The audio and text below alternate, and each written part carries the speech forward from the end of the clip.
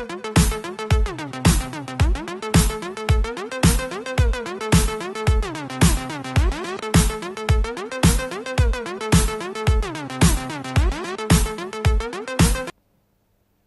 en Entre Nos, acompáñanos ou acompañámola, millor dito, a María José en Rodríguez. María José, moi bo día. Un placer estar aquí contigo, Aso. A verdad que é un placer porque, bueno, ves invitada ao Concello de Garballiño. Hoxe presentámoste como escritora, aínda que, bueno, o teu currículum ten moito que ver pois cos medios, co comunicación, marketing e todo, pero hoxe como escritora, por o que, por o que imos a falar.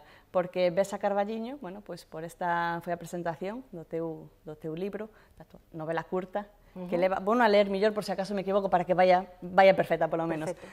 Por amor a ti, meu fillo. Exactamente. Mm, casi nada, non? Eh, sí, en primeiro lugar, eh, quero decir que estou encantada de estar aquí en eh, Carballino. Eh, a miña presentación do meu libro eh, Por amor a ti, meu fillo, está dentro das actividades que eh, a, con, o, con a Consellería de, de Igualdade de, de, de aquí de Carballino que eh, leva Marina, eh, invitoume dentro das actividades do 8 eh, de marzo. Entón, para min é unha honra, despois do que aconteceu onte, estar aquí presentando este libro que xa vai na terceira edición e que tantos éxitos eh, mm, me ha enchido, non?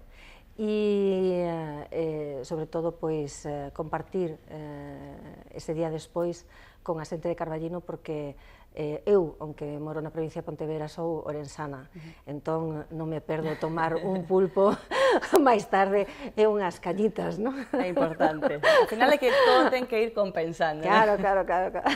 Bueno, hai que decir tamén, eh, por se alguén está, que nos este vendo, que se este extrañando, falamos o comenzo da entrevista, bueno, antes de comenzar, mellor dito, eh, en que idioma falamos? Bueno, galego, castelán, portugués, como temos esa mistura non tan próxima e demais, E, bueno, hai que decir tamén que ahora falamos desa parte, un libro editado en Portugal en galego, que é das sí. primeiras veces. Pero antes de nada, decir que esa mezcla que, como ben dices ti, estás facendo non é un esforzo, pero casi sí, para acompañarme no galego, que ao final o que decíamos, non? que se me misturan todas as linguas. Digo por se acaso se sí, alguén, alguén sí, nota algo raro. Eh, o que acontece é que eu teño unha vinculación moi forte con Portugal. Eh, de feito, a editora que publica este libro é portuguesa e o meu libro foi elexido sendo a primeira vez que publica esta importante editora de Lisboa, que é a Ancora Editora, en, en galego. Para min tamén é unha honra inmensa que elixera o meu traballo. Estou tan acostumbrada xa a falar con eles que xa non sei se falo portugués, se falo galego ou que falo. entonces é unha mistura e tamén teño xente en Brasil con la que mm. falo moitísimo, entón eh, esas veces non sei nin o que falo. De todas maneiras, eh, é un, un enriquecemento importante, todo, eh, todas as linguas eh, son importantes eh, e, bueno, eh, penso que é un enriquecemento personal. Non?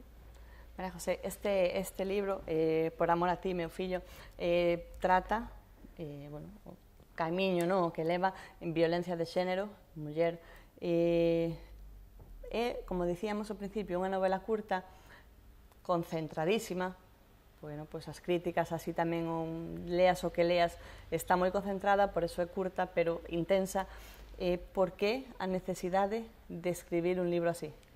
Eh, mira, te conto, eh, como xa falei antes, eu son orensana, pero desde ben miúda me fico meus pais a, a Pontevedra.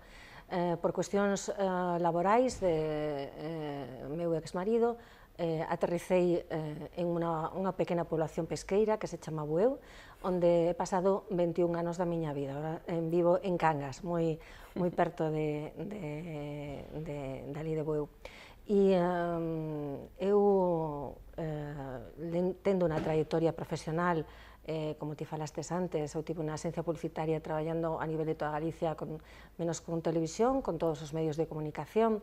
Estaba mm, moi acostumbrada a escribir, pero dunha maneira publicitaria, eh, que son, eh, xa sabedes, frases eh, cortas, eh, mm, digamos, con un toque emocional para saber eh, enviar un mensaxe a persoa que, que nos, eh, nos interesa, uh -huh. en este caso, cando se fai unha campaña publicitaria.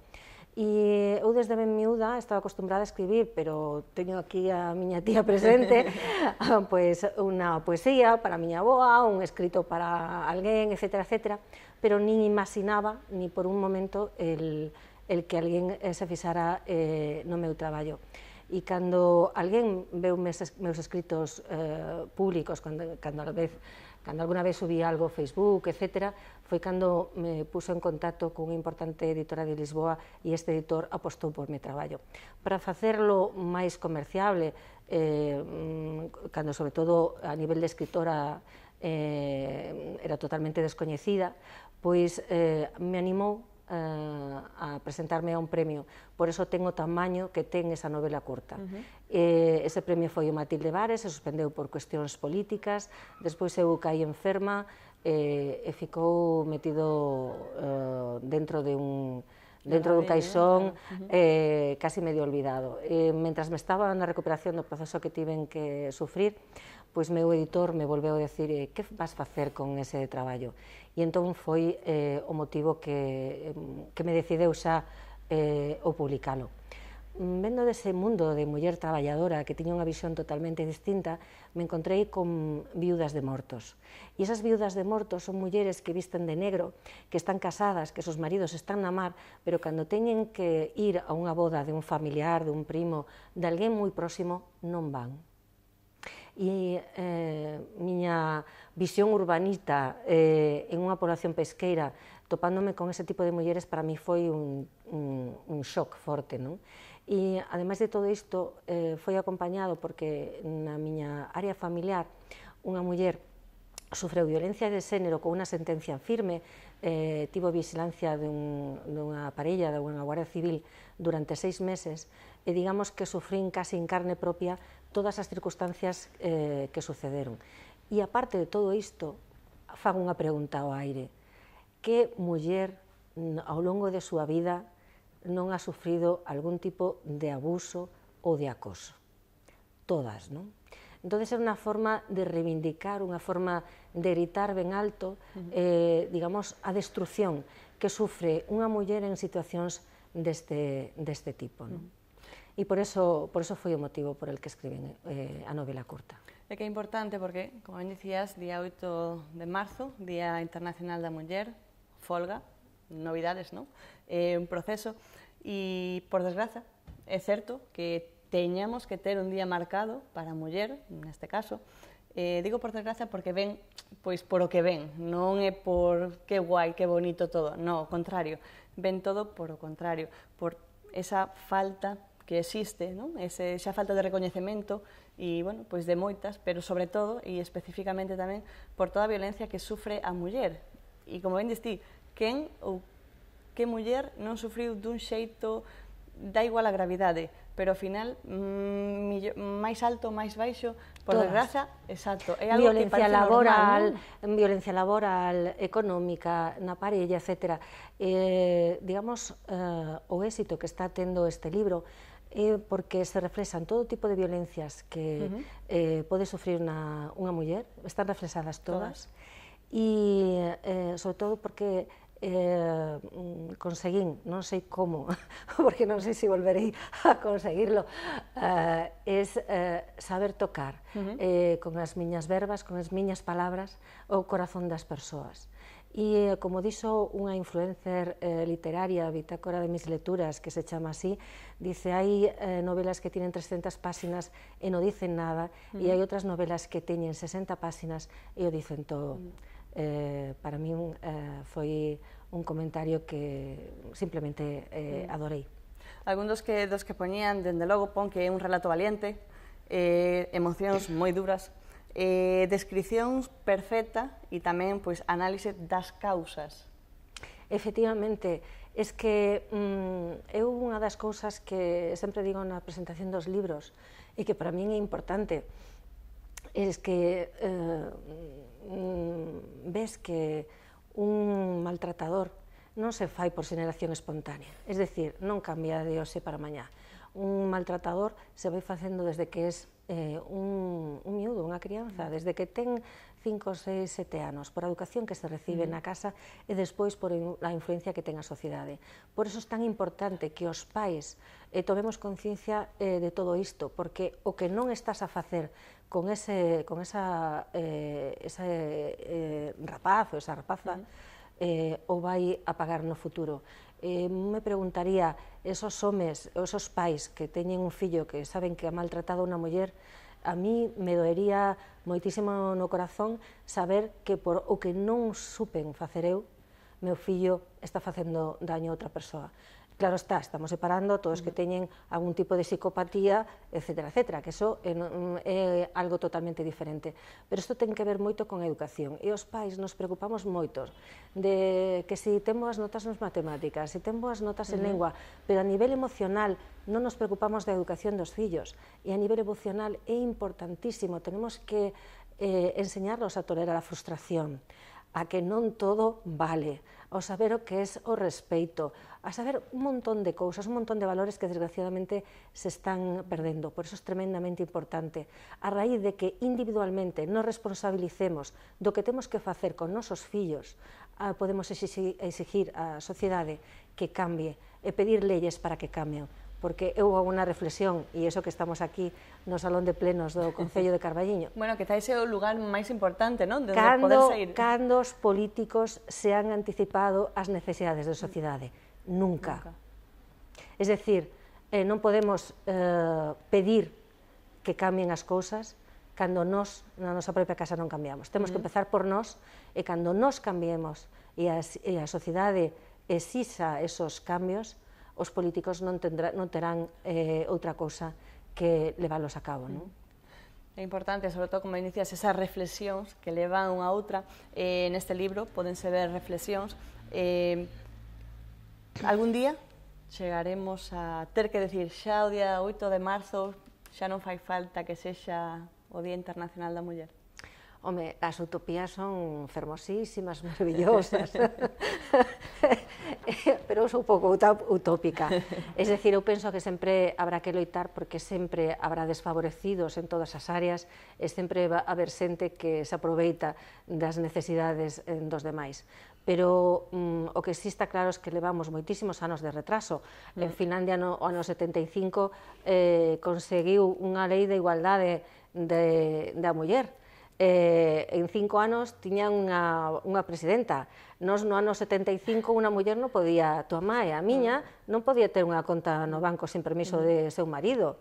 E nos equiparaban dentro de un artículo na lei eh, as mulleres como eh, igual que eh, os fillos, mm. e igual que incluso que as persoas disminuídas. Isto é moi forte mm. en decirlo así, pero, es, es, pero é verdade. E, bueno, e todavía non temos unha presidenta. É importante. a ver, Exacto. a ver se si eu teño sorte sí. de, de ver algún, a un mm. día. Non porque sexa muller, sino porque eh, hai cantidad de mulleres capacitadas e profesionais uh -huh. que hai que darlles visibilidade. E a min eso é o que me interesa. Non por cupos, sino claro. por valía.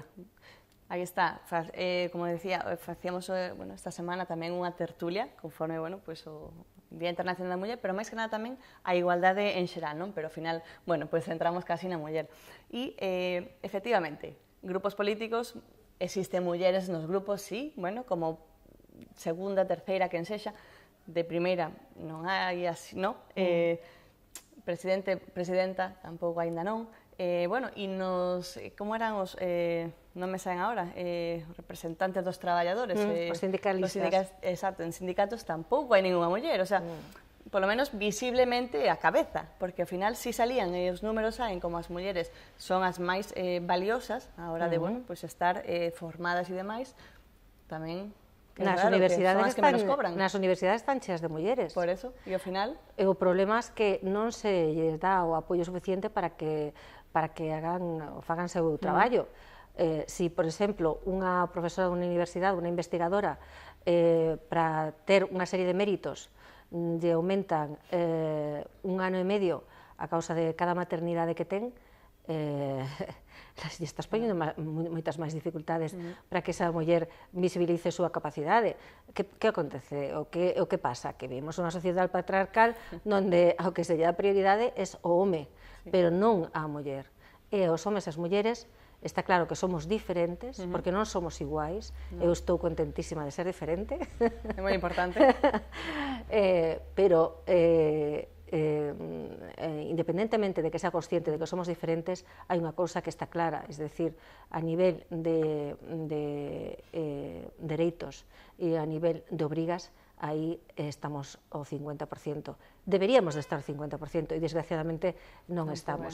Por eso eh, para min é tan importante o que aconteceu onten porque mm, coñecendo un país no que está pasando de todo e a xente mm, sai á rúa por poucas cousas, ver os subilados na rúa fai uns días e ver eh, tantas mulleres eh, nas rúas de todo o país, mm. sendo noticia nos primeiros eh, periódicos de todo o mundo eh, mm, pedindo os seus dereitos, pois pues, eh, para mí me pareceu maravilloso me pareceu maravilloso que o fagan as españolas, claro. pero tamén me pareceu tan maravilloso que as iraníes, que por exemplo, sí.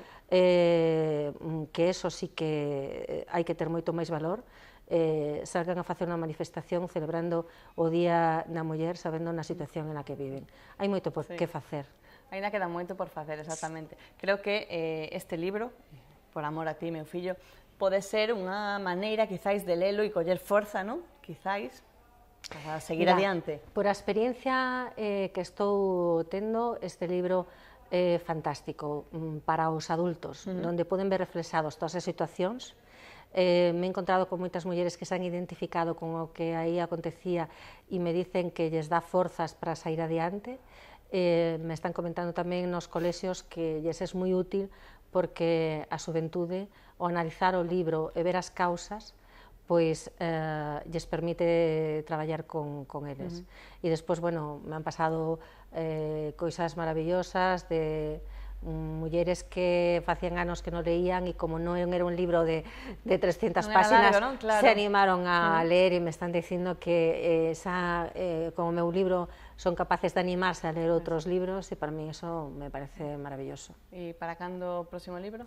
Pois mira, eu eh, quería traducilo o, o castelán, uh -huh. porque é unha demanda que hai, e me gustaría sentarme a escribir, pero acabo de cambiarme de residencia, de povo, eh, teño unha vida un pouco convulsa, eu tamén teño outro traballo aparte deste, e eh, espero digamos que chegue a calma para poder facelo, porque en vista de que esa demanda claro. eh, existe e que a nivel de autoestima ha sido maravilloso para min eh, ver como a xente eh, devolvía todo ese cariño eh, que eu tive ao escribir esas páxinas, pois eh, a sensación realmente é maravillosa, cosa que dou gracias a todas as persoas que ven na miña página web ou no Facebook ou por outros medios me han dado eh, seu agradecimiento mm. por haber escrito esta pequena novela.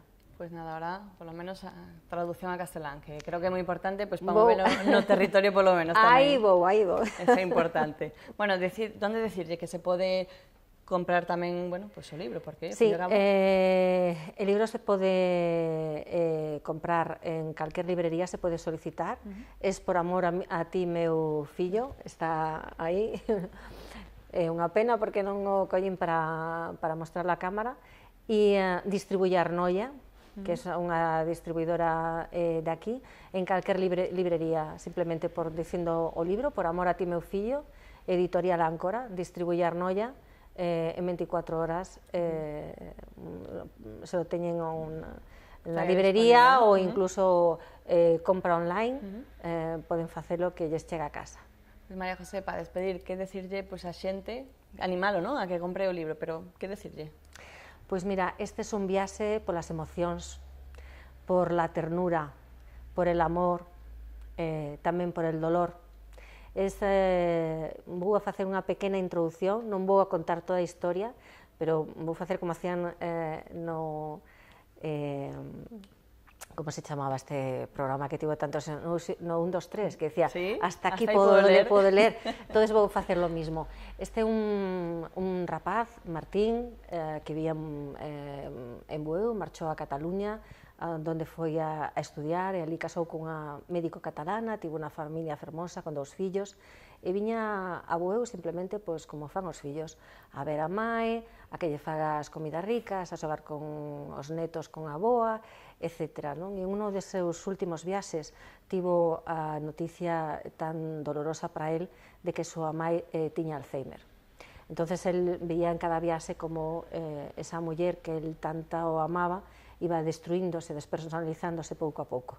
Esta muller estaba, eh, tiña dúas, dúas cuidadoras, que eran as que as cuidaban, e en este momento xa está unha situación complicada, el um, ven a desmontar a casa, eh, a desmontarse os recuerdos de, da súa infancia, eh, a vaciarla, porque xa ten alugada, eh, vai vir unha ambulancia medicalizada para levar a súa mãe para Cataluña para pasar eh, os últimos tempos de vida con súa mãe. Non?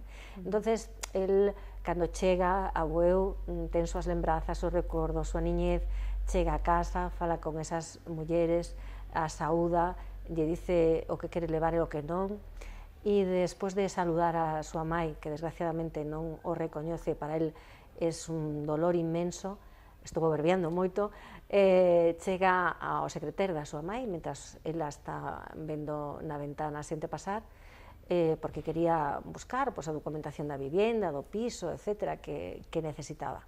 E cando entra ali no secretario, abre con a chave, encontra un libro belamente decorado. E ese libro, esa vía de, do gosto que tiña a súa mãe por, por, por escribir, pero non eh, sabía que ela había escrito un diario. Entonces abre o libro e ten unha dedicatoria en la que dice que, por favor, que o lea, pero que sobre todo non a xuzgue, non?